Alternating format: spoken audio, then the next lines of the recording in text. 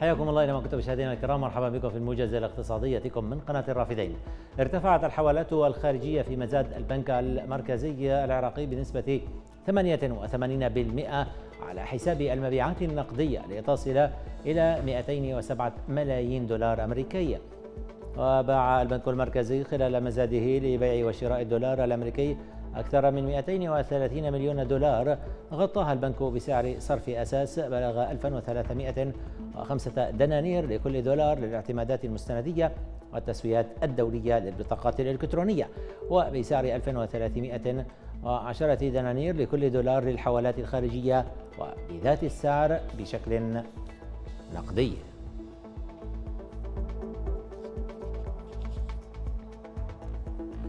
حققت تركيا مليارا وسبعمائة مليون دولار من عائدات السياحة العلاجية خلال الأشهر التسعة الأولى من العام الجاري 2023 وقال وزير التجارة التركي أن تركيا في عهد حزب العدالة والتنمية أنشأت نحو ألف مستشفى إضافة إلى 25 مدينة طبية تم إنشاؤها أو لا تزال قيد الإنشاء مؤكدا أن تركيا باتت قاعدة صحية مهمة للعالم خلال السنوات العشر الأخيرة.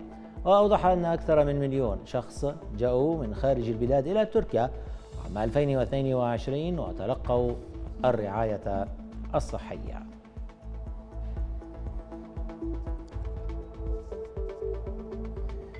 حذر البنك المركزي الأوروبي من أن الميزانيات العمومية لبنوك منطقة اليورو تظهر علامات مبكرة على التوتر بعد ارتفاع حالات التخلف والتأخر عن سداد القروض. وحث المسؤولون في المركزية المقرضين على زيادة المخصصات لتغطية خسائر القروض المتزايدة. وتوقعوا أن تتضرر أرباحهم بسبب انخفاض حجم الإقراض وزيادة تكاليف التمويل. وكان البنك المركزي الأوروبي قد رفع أسعار الفائدة عشر مرات على التوالي منذ منتصف العام الماضي لتصل إلى مستويات غير مسبوقة عند 4.5%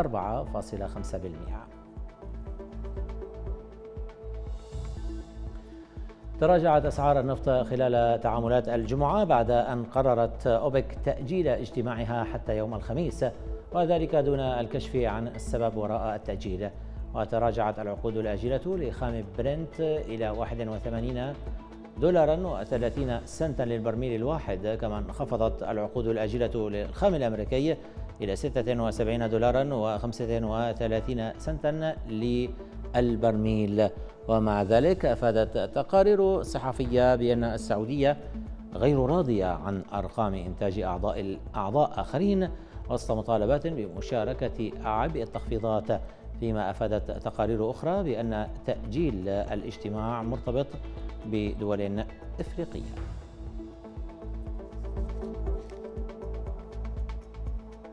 والآن مشاهدينا الكرام هذه انتقالات سريعة إلى أسعار صرف العملات الأجنبية وأسعار المعادن